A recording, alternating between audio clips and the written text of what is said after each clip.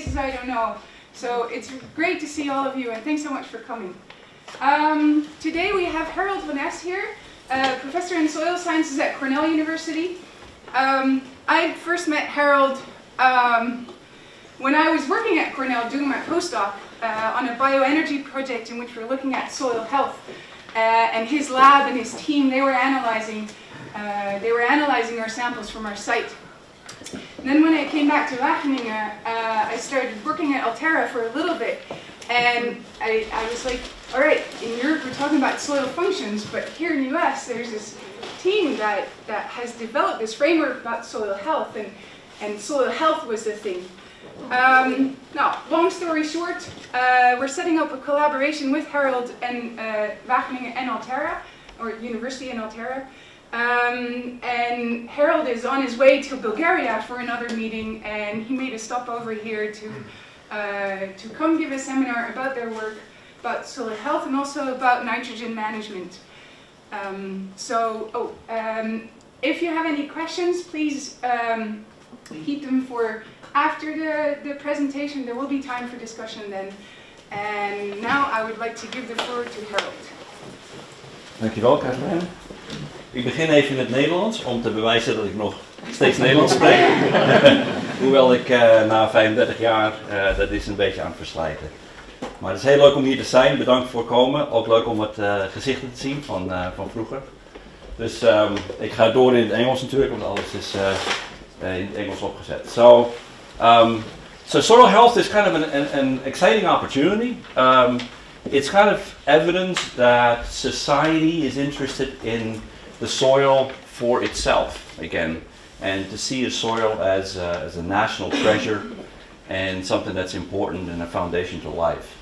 And, um, and so in the US, it's a fairly, fairly big deal these days. So, you know, when I talk about soil health, and, and this presentation will be relatively high level, I'm not going to go into a lot of details. Um, but we, we kind of, when we present soil health, we, we say, well, this is important for you know, for the food system, agriculture food system, and for the environmental health component. That ultimately uh, humans, you know, experience soil health through those, those two routes, and that's why it's important. You know this, uh, but it's important to point that out. So in the US, uh, in the past couple of years, it's really been amazing how much has been happening around soil health. So the national government uh, the U.S. Department of Agriculture has a major soil health initiative that they started about four or five years ago. Um, we have uh, a soil health partnership which is, uh, involves the National Corn Growers Association and some companies like Monsanto. Uh, the Soil Health Institute is uh, brand new. It's funded by the Noble Foundation and the Farm Foundation and that's also associated with Soil Renaissance. I just read yesterday that, for example, the Field to Market initiative, which is a supply chain initiative uh, associated with a lot, lot of the food and beverage companies, they're interested in soil health. So for us it's very gratifying because we've been working on this for 15, 20 years and we've been saying soil health is really important and nobody listens and then somebody in Washington says, hey, we're going to do soil health. And uh, now it's a big deal. And so for us it's nice because we're front in line for the funding because we've been doing it for a while. Um, but it, it's, it's very gratifying. I mean, in general, I, I, I hear the same here in, in Europe, that, that there's just kind of a, a, a realization uh, that soils are important again, you know. Um, so, um, so we fairly early on decided to focus on quantification. Basically, the adage of, you know, you, you don't know what, what you don't measure or what gets measured gets done. And when you think about successes in soil science, the soil testing, which is really soil nutrient and pH testing, has been tremendously successful. You know, farmers use it, they know how to interpret the numbers, they know how to act on it. So we decided, well, let's just expand the soil testing concept to go beyond just nutrients and pH and uh, metals and all that. Let's bring in the physical and the biological component of, uh, of the soils.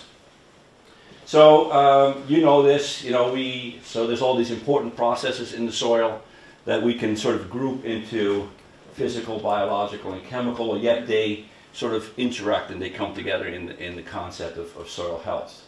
And so soil health is really about how the soil functions in those three realms.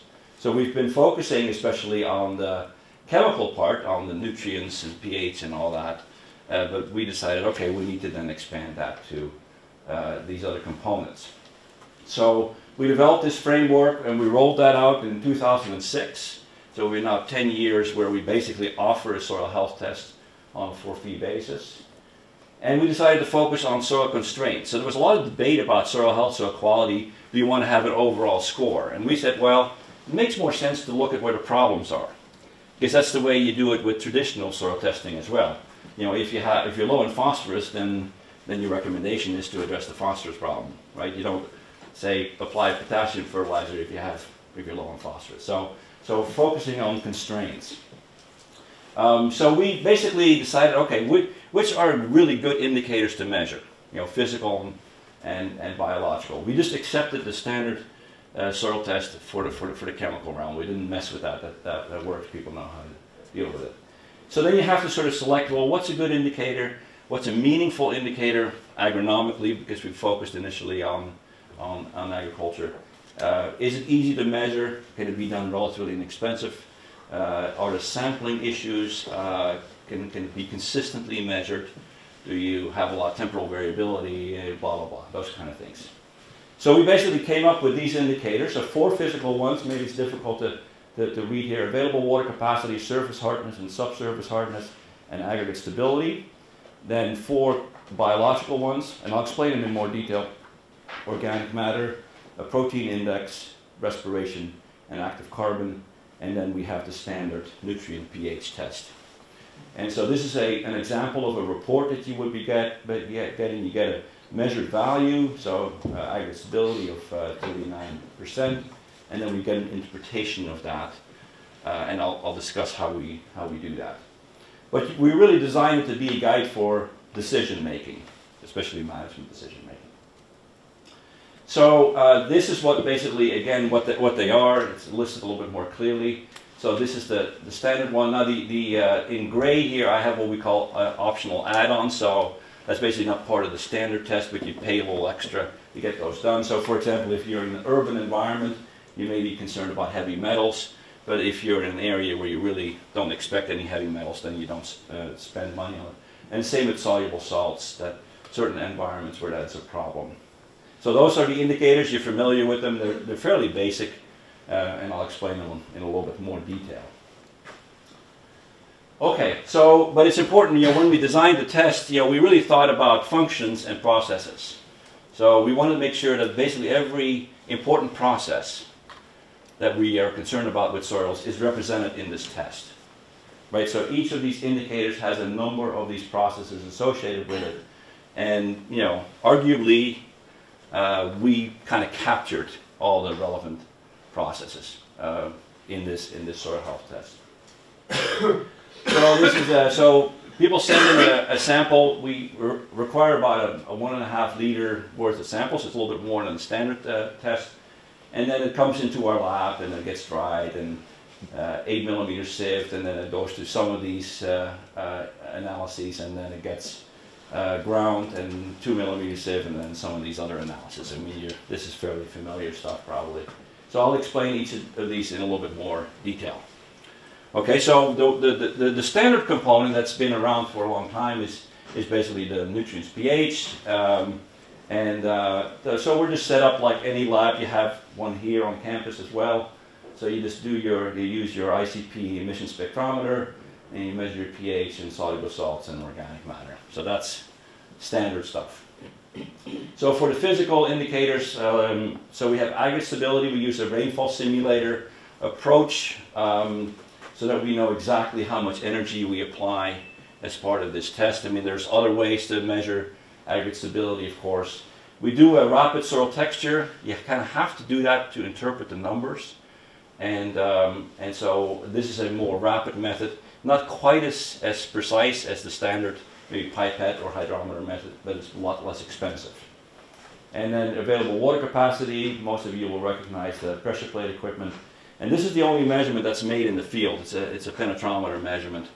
And um, and it's always controversial because there's somewhat dependent on, on moisture content.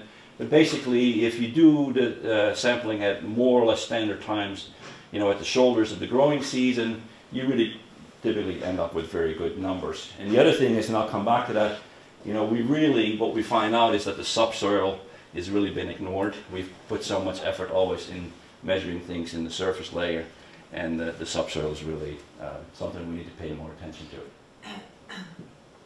So in terms of the, uh, the biological indicators, so we really, you know, we always think of organic matter being, being critical, but, you know, uh, there's really organic matter quantity and quality. So for example, we measure protein. You know, protein is an important component of organic matter as it relates to nitrogen availability. And you could have really for the same organic matter content, say four or five uh, percent, you can have a factor three difference in the protein content. So there, the, the, there's not just organic matter is organic matter, there's really there's a quality aspect of, of organic matter. Okay, so what are some of those indicators? Uh, so active carbon, which is the permanganate oxidizable carbon, very simple, very inexpensive test. Maybe some of you have, have used it. Um, you just need a, a, basic, you know, field spectrometer, and then uh, it's, a, it's a basic, uh, chemically speaking, very, uh, very basic test. It's really quite good. I mean, if you really, if you, if you do a lot of analysis on overall soil health or soil quality or even crop uh, productivity, one of the indicators that, that tends to come on top is active carbon, and it's a really inexpensive test. Okay, so it really focuses on sort of the component of the of the carbon that's more biologically active. Um, we also do respiration. That's an uh, microbial activity measurement. Okay, that's uh, we do a basic uh, rapid welding uh, with an, um, a KOH trap, and we just use an EC meter. Very inexpensive, very easy to implement. I mean, you know, this kind of equipment, you know, you're talking about less than a thousand dollars to be able to to implement something like that. And so it's a microbial activity indicator. You also do the autoclave citrate extractable soil protein. It's a little bit more involved uh, test, but we feel that proteins, because of the nitrogen component being so important in the soil, uh, is, is an important uh, test. But it, it's a, also relatively, the equipment needs are relatively modest actually. And then as an, as an uh, option, or we call it an a la carte option, uh, we uh, also do a root disease assessment, which is an integrated uh, assessment. So we just basically do a bioassay. We grow these bean plants, and then we do a rating of the relative uh, disease level, looking at lesions and looking at necrosis of, of, of roots. This is developed by a plant pathologist. Um, probably in the future we can be more specific about particular diseases, but for right now this is a very inexpensive way um, and especially the organic producers that are very interested in this, vegetable producers that grow crops that are more susceptible to diseases. So okay, so then, uh, so those are basically the indicators and how we measure them. And here is, uh, again, is our report. Right, so I'm going to talk a little bit about how we basically come from, or go from the measured values, so aggregate stability, say 39%, or active carbon, 619%. So what does that mean? What do those numbers actually mean, right? So that's been one of the challenges. So we basically convert that into a score or a rating, and then we use color coding basically, red being bad and green being good, and then some in, in between uh, colors. Okay, so that uh, works well. And then we have an overall uh, quality score as well. Okay, so that allows you for kind of an overall assessment. Maybe what, what's the value of that soil. Okay, so in terms of scoring functions, we have three types. More is better, less is better, and optimum. So more is better, like active carbon or respiration, uh, some of those. Less is better is, uh, for example, penetration resistance. You know, the harder the soil, worse it is. And optimum, of course, is you know mostly pH and phosphorus because phosphorus you want to want to don't want to have too much and you don't want, want too little. So this is following some of the work that uh, Susan Andrews and that group did uh, at the ARS. And then we, uh, by the way, we used on the, uh, the color coding here. You can see it's the, it's uh, the five category system. We now are all living by the five star system, right? Everything is five star ratings or three star and all that. So the, the human mind thinks in terms of five categories. So we actually started with three categories, and then we found out that people started to parse things out. You know, if you say high, medium, low, people will say medium high or medium low. People always want things to be in five categories. So we said, okay, we, we, we give up, give up, we're going to go with five categories. So okay, so scoring methods. So so how do you approach that? Well, one is to say, you know, we already know what's good, like pH. We already know that if you're growing maize or coffee or whatever, we know kind of what the optimum pH is. We don't really need to do any more research on that. Same with phosphorus, potassium, etc. But how about active carbon, right? Or protein? Have, you have, have no idea. So, so basically what you do there is you compare the measurement in a larger uh, distribution. And that's kind of what we use in human medicine as well. So if you have your potassium level measured in your blood or your cholesterol level, you know, the number itself doesn't necessarily mean anything, but they just compare you to a population. Okay, so if you're at 200 and most other people average 120 and range from like 80 to uh, 220, you're at the high end. Okay, and that tells you something. Doesn't necessarily say that there's a problem, but it tells you something where you are. And that's, that's the best you can do uh, with these new indicators. And that's actually a fairly simple way to approach that basically by using the normal distribution function and then you develop a scoring function from that. So here's an example. So you collect a lot of samples, you measure, in this case, active carbon, you get your distribution function, you define your parameters as part of that, and then you just plug it into this new distribution function, which is the cumulative normal distribution function, which uses the same parameter of mean and standard deviation. Right? So all you need to do is you need to basically characterize the distribution of, of, of your numbers. And so that cumulative distribution function looks like this, and then you basically have the different categories. So 0 to 20 is red and very low, etc. It's actually very simple to do from a, from a mathematical perspective. So we've done that. We, we started out, uh, you know, 10 years ago, and we developed these uh, scoring functions. This is for aggregate stability. And then uh, after 8,000 samples, uh, nine years later, we said, okay, let's kind of revisit those scoring functions. And we found that we kind of had to adjust them a little bit, uh, basically a little bit to the left, that we kind of overestimated uh, aggregate stability because our initial sample was somewhat biased, basically. We maybe had too many organic farms on there or dairy farms that had a lot of manure. And so, and then we also, like I said, changed from the, the, the three uh, three color system to the five color system. Because you know you get people you know say oh I'm still in the red but you know my aggregate stability is actually quite good and that's that's really kind of discouraging to people. It's like oh geez. Or, or they, they measure one year and then three years later they measure and I'm still in the red, you know, or I'm still in the yellow. So you need to allow for a little bit more graduation. Okay, so how do you then take this information and, and make it useful? So one of the mistakes that we made was, was because we focused on measurement. We said, oh, here's, here's your soil health report. Isn't that great? And people were like, what do I do with this information? Okay, so we really had to help people interpret these numbers and, and start, start to, to use them effectively for management planning. And one of the challenges with that is that it's not as straightforward as traditional soil testing. You know, if your phosphorus level is low, you can say apply 40 kilograms per hectare of phosphorus or whatever, 60 kilograms per hectare of, of potassium. It's very easy. Soil health is more holistic management, kind of like with humans. You know, you, you, you measure your health. And so it's a little bit more complicated. It's not always that straightforward. You have different options. Okay? And I'll try to explain that. So one of the things that we realize is we need to have a, have a process. I mean, it, it sounds very simple, right? But it's, it's, that's what you need. You need to help guide people through this information. You say, okay, well, we develop a six-step process. So one is to put it in the context of, of the enterprise, the farm. What kind of equipment is available on the farm? What's the financial situation of the farm? Are they able to invest in new equipment or not? You know, things like that. What's the attitude of the farmer?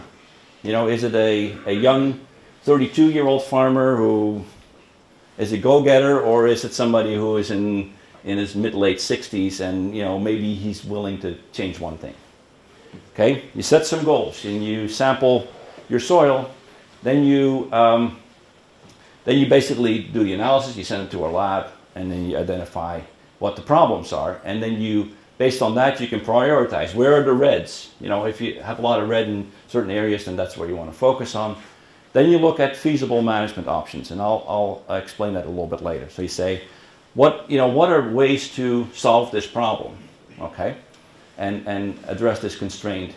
And then you create a management plan, right? A more long-term management plan. And then you do this sort of implement, monitor, adapt, so that you can kind of make it into a circle, right? And so again, it's it, it, it, very logical, but it's what you have. You have to be explicit about this because otherwise people are very confused. They don't know what to do with information. So the so the report actually is in addition to having actually this is a previous version of the report. My apologies, but um, it is the, the report is quite extensive. It's a it's an eight-page report. So we explain exactly, for example, aggregate stability is a measure of how well blah blah blah blah. So you really explain to people very well why, what you're measuring and why it's important. And then it says your measured aggregate stability value is 22.5% with a score of 26 and so therefore you may want to address this because it's, it's a low score. So the, the report, you know, everything is electronic now, so you might as well put the information in, you know, uh, because it's useful.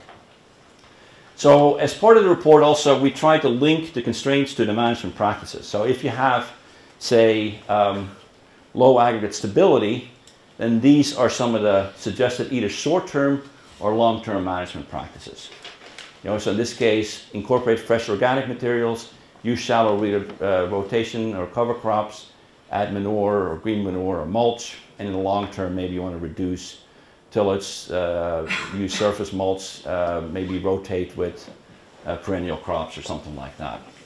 So so we're, we're giving certain recommendations because we understand how, say, aggregate stability may be influenced by these management practices.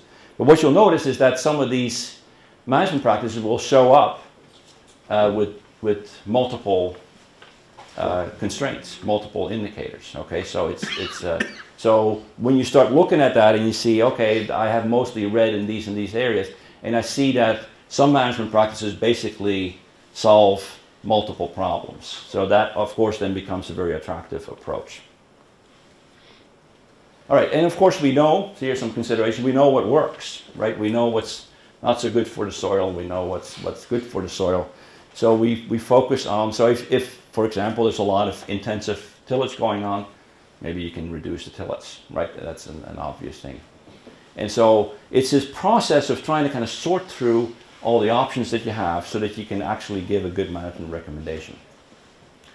So acknowledge that, a more, that it's a more complicated crop and soil management structure. All right? And again, we often use that analogy with human health. So you're, you know, you get your blood test done, your cholesterol level comes out high. What are your options? Well, look and see what maybe the problem is. If you always eat very, you know, uh, unhealthy food, then maybe that's what you need to focus on. Maybe you never exercise. Maybe that's what you need to focus on. Maybe you have a lot of stress in your life. Maybe you need to try to reduce stress. Or maybe you just need to take a pill. Okay? You have those options. You have to sort out what that is. Maybe you sit down with your physician or something like that. That's kind of the way this is. All right? And this, this takes a little getting used to it because people like to have very straight and simple answers. All right? So, but that's not holistic man management. So keep in mind that, you know, for example, a cover crop can address a lot of these problems okay, depending on what kind of cover crop you select, say a legume or a grass or, or whatever. Um, and um, of course, one particular problem can be addressed by multiple management practices. Right, so you kind of have to sort your, your way uh, through that. And typically, you know, something very obvious, you know, rolls out. You know, for example, uh, if you're on a uh, on a grain farm and you're near a dairy farm where they have excess manure, well, maybe you can get some of that manure and that will help you improve your soil, you know. Or maybe you can reduce your, you change your rotation or, or go to strip till or no till or something like that.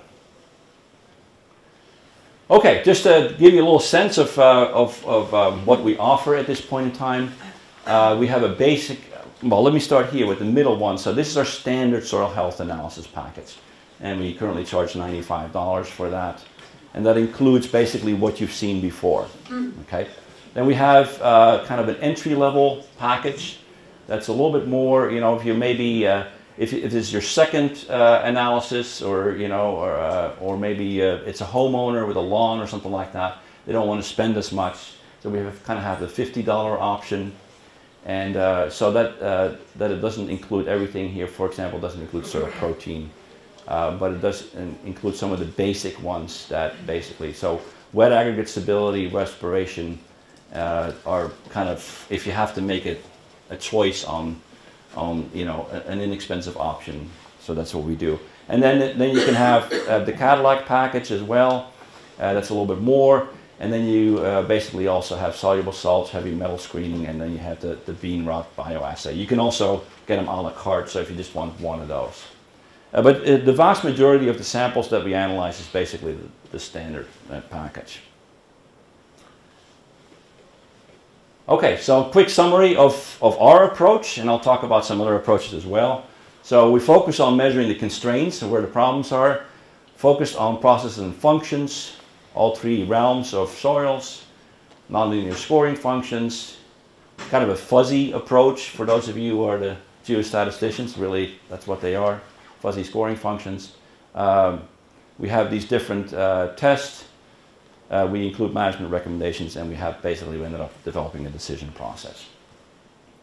So if you're interested in, in, in, uh, in some reference material, we have uh, actually just a new manual that we uh, just put online. This is our website here. If you just if you Google Cornell Soil Health, you, you'll get there.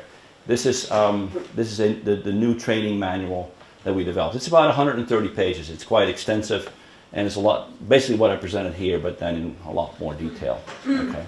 We also have uh, standard operating procedures if you really are interested in knowing exactly how we do that, you know, you know, weigh 20 grams of soil and then do this and this. It's all, um, and uh, if you're interested in, in sort of uh, maybe a, a, background textbook on soil health, this, this one here, Building Soils for Better Crops, which is now in the third version, is basically a book about sustainable soil management. That I think is, is quite um, approachable. I mean, it's not highly technical. And so even for a farmer or a consultant, it's, uh, it's quite a nice book. And uh, it's now about a I think it's a little over uh, 200 pages. Uh, both of these you can download as PDF files for free. So they're available, you can just get them. You can, you know, take a, take a figure or a table out of it and put it in the presentation or whatever you want to do. Um, one, of, one of the good things about writing a book uh, through a, um, kind of a, a non-commercial publisher is that they made it available very inexpensively. The, the book at the bulk rate is, uh, was uh, $10. And so people used it in workshops and all that. And then they made it available for free to, to download. So uh, that's very nice. So a lot of, it's gone far and wide, that, that book, uh, for that reason. Okay, so let me talk a little bit about, about, other soil tests because we're not the only ones who are working in this area. So one that, uh, that also gained some notoriety and then, you know, there were some concerns about that is the so-called Haney test. You may have heard of that. Um, it basically focuses uh, on the kind of carbon and nitrogen and, and, uh, and to some extent phosphorus co uh, components. So it includes respiration. Typically they use the Solvita test and, uh, and then the water extractable organic C and N and then developing that ratio. And they, they developed a basically a soil health index which is basically that, respiration over and basically what comes out of these tests. Um, they also make recommendations uh, fertilizer recommendations based on that, that's what really got them in trouble, unfortunately. I mean, I think it's a worthwhile test, but I think that they took it a little too far by basically developing recommendations uh, from that. Uh, but it's, uh, it's also commercially offered by one or two labs. Uh, Ward Labs in Nebraska um, is one of them. So the other ones, uh, so the so-called Solvita test, you may be familiar with that. It's basically a respiration test, and, and they, they sell it kind of as a package. So you, you know, you, yeah, you buy the containers and it has these paddles in it that absorb the, uh, uh, the CO2 and, uh, and then you have have a reader with that. So it's, it's relatively easy for a lab to start working with that. Um, and then they also developed a variation on that, which is the soil labile amino nitrogen test, which is basically instead of wetting it with water, you're wetting, wetting it uh, with uh, sodium hydroxide. And then you basically kind of uh, collect the uh, basically you have ammonium uh, evolution from that, which is basically the result of the whatever ammonia or uh, mostly amino N that's that's in, in the soil. So it's sort of a labile N uh, test. Um, it's being offered commercially. It's not been uh, evaluated uh, very, very much. Uh, but uh, the, the Solvita uh, Woods End Lab, they're, they're, they're good people. They're, they're, they're trying to do good stuff. And uh, so that, that may be something of interest. The other ones that, uh, for those of you who are more in biology, and I'm a soil physicist by training, so this is, uh, don't ask me too many questions about this, but the ones that are um, gaining a lot of attention is the, the PLFA, phospholipid fatty acid assessment, and the, uh, and the EL-FAME, which is a fatty acid methyl ester. Um, my understanding is that the EL-FAME is a, is a more effective and less expensive uh, way to measure. Uh, and then basically what you're after is the, is the microbial community profile uh, in a, you know, through a relatively inexpensive test. And, um, and I'll come back to, to that later, but that's, uh, that's not been as widely offered, uh, but it's a little bit more still in the, in the, in the, the research area. And then also the beta glucosidase, which is more of an activity test like respiration. So you really, it's an enzyme activity uh, test. And, uh, and that's uh, been promoted as well. It's also not really widely used uh, in sort of the real world environment. Um, still a little bit in the, in the research environment. So, um, so one of the things that we were um, really interested in uh, and the Soil Health Institute took a, a, lead on that, is, is, to, is to come to a national consensus on a soil health test. So there's, there's going to be a lot of soil health tests done in the next decade or something like that. It's, it's, a, it's a big deal. Uh, so let's at least come to a consensus on what constitutes a soil health test. Let's agree on the standard operating procedures. Let's agree on the methodologies and all that. Mm -hmm. And, and in fact, that's uh, something else that I definitely want to relay to you as well that we not only do this at the national level in the US, but that we do that at, at, the international level. We have this opportunity now, because it's sort of new, to try to come to a consensus before everybody invests money in labs and they all start to do it differently. You know, you use 20 grams, I use 30 grams, or I use this water uh, uh, stability test and you use another one. Uh, sometimes, you know, maybe they need to be cross-correlated. Sometimes you can't necessarily use the same test. You know, you can't in, in, a, in a, a desert soil versus an, an, Arctic soil, maybe you can't use the same test, but try to make it as much compatible as possible. So we had this meeting in February in Ardmore, Oklahoma, where the uh, Noble Foundation is. Um, this, this cast of characters got together, and we, we're trying to hash that out, and we're still in the process. So one of the things that we um, did was, was basically say, well, which processes do we really want to have represented in a national soil health test? So we say, well, these are sort of the, the most important processes that, that we want in there, right? And then what are the, the best available, um, basically indicators of that? So you can see with general biological activity, we're still kind of debating between two. Some people really like respiration, other people don't. Um, I think respiration is actually is, is quite good and it's very simple. But some people say, no, we need to do the beta glucosidase. Um, EL-FAME uh, uh, appears to be more popular than the PLFA. Uh, people think that it's more implementable on a commercial basis. Aggregate stability, active carbon, soil protein. So you see those. So a lot of that, you know, mirrors the our Cornell soil health test, but um, uh, this is, I mean, it's going to be changing a little bit. And you know, it's actually been interesting. So you know, you can appreciate this as scientists. So you, you know, you're having a room full of scientists, and you come to a, try to come to agreement on testing methodologies. You know, you know how that works, right? And so we actually ended up having red cards, yellow cards, and green cards, and we voted. And so, you know, green card was like, yeah, yeah, this, this methodology is great. I mean, there's no, no concerns. And then, you know, uh, yellow was like, well, yeah, it has potential. And red was, no, I don't like that one. And we ended up, basically, because we were going round and round and round and round, and at some point in time, you need to have a process to say, well, at least, let's at least sort of take inventory of where everybody was. Didn't they want to have five categories? Yeah, yeah, yeah. that's right. Yeah, we didn't. Have, we should have had five categories. Uh, but you know, it's it, well, you, you, know how that goes. It's really difficult to get uh, people to, to agree. And you know, in the U.S., we have this land grant system, so every state has their own land grant university and they have traditions of you know developing their own tests and all that and we don't have as much of a tradition to say oh let's just discard this one because this one is better no you know people keep doing the same thing so the, the land grant universities get money from the government to do research that is used and communicated by the public. Right, right We don't, we don't have that here. Yeah, it's a different system a little bit. Yeah, yeah. So uh, just briefly, I wanted to, uh, this is something that you know we started more recently pay attention to because you know we, we focus so much on that surface soil, and you know in the context of some of the global threats and climate change and, and extremes and all that, we really do come to realize that that subsoil is also very important. And of course, why don't we measure much of the subsoil? Right, because it's a lot harder. Right, it's so much easier to sample from, from the surface. So, you know, in a typical system, you have that surface layer, you have the subsoil, and then you typically have a transition layer, especially in a plowed system, where you basically kind of you put typically what's at the surface, it's crop residue or whatever, uh, or rotation crop, and you, then you, you put it here at the, at the bottom of the plow layer. So I had a PhD student who did a little bit of work on that, and we had some uh, plots that had been long-term no-till and long-term plowed, but uh, in each case also as a, as a, as a cross treatment, uh, the residue returned or the residue harvested.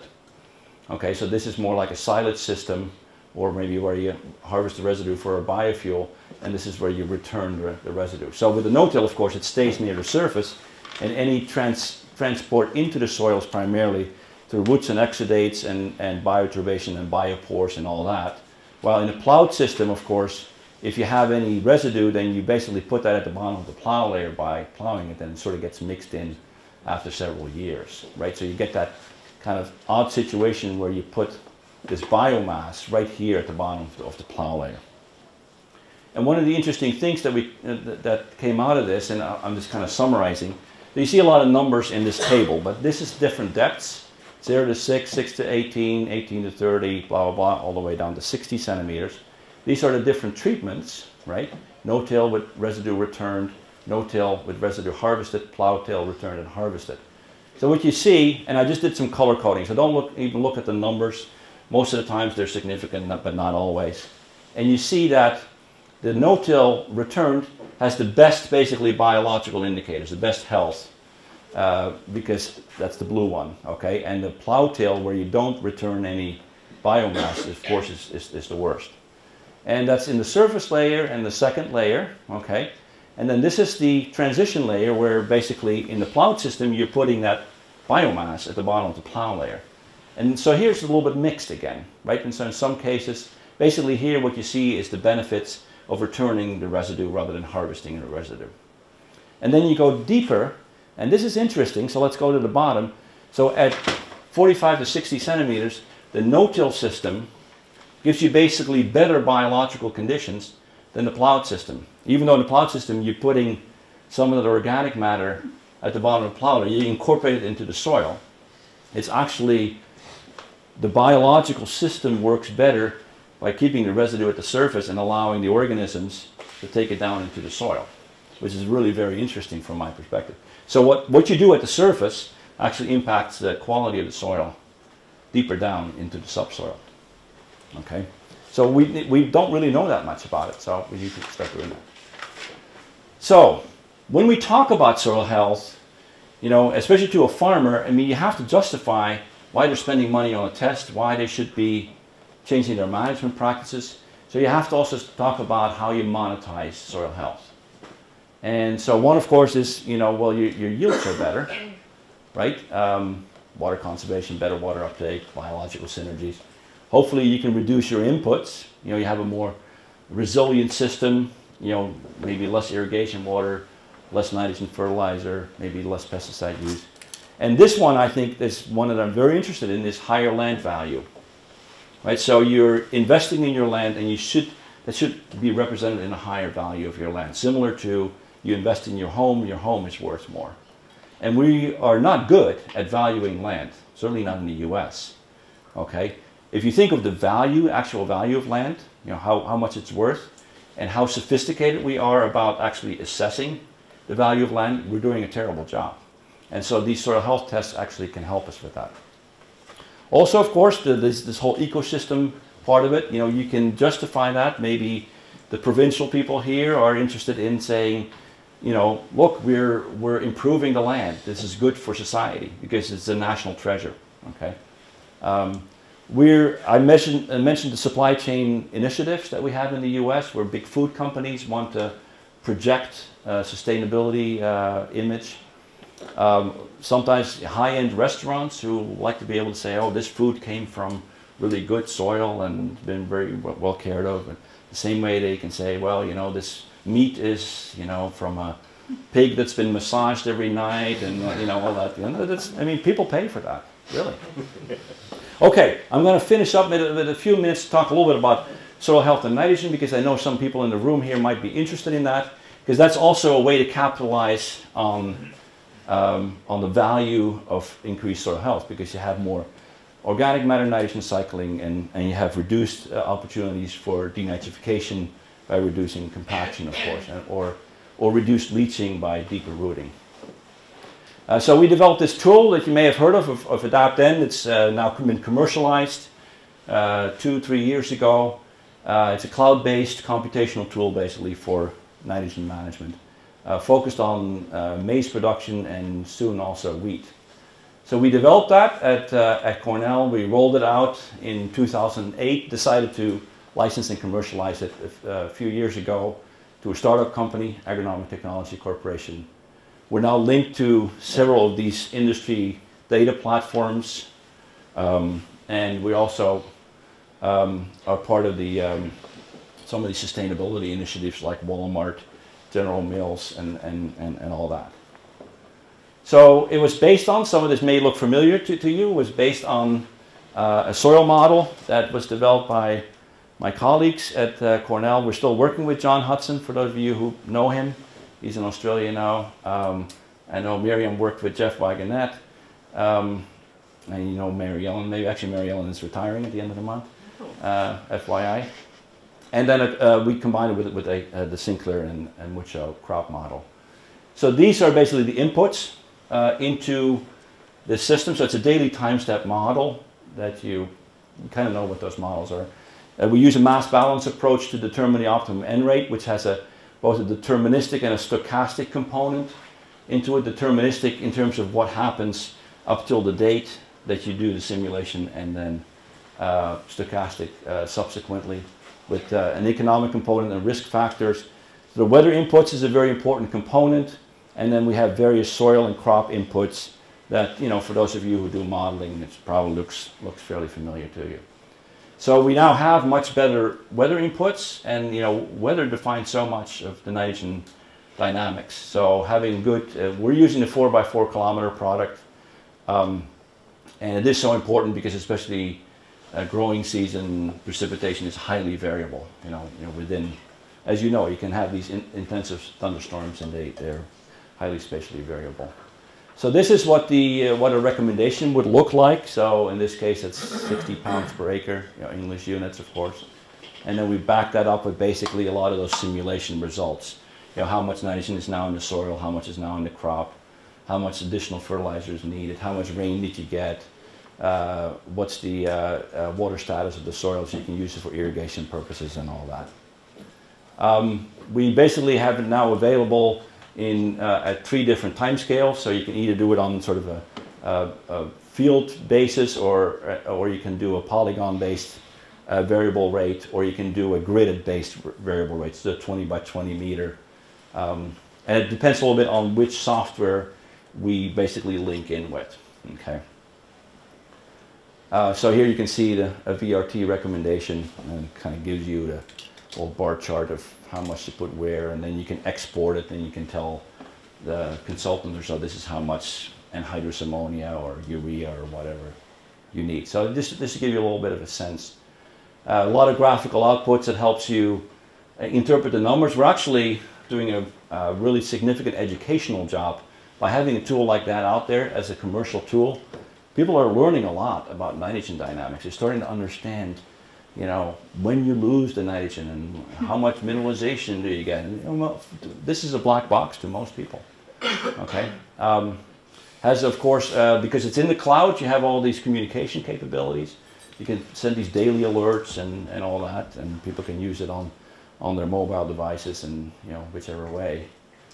Um, I won't go into details, but we spent a lot of time basically proving the technology. You know, proving that that these recommendations are better than what you had, the, static recommendations, okay?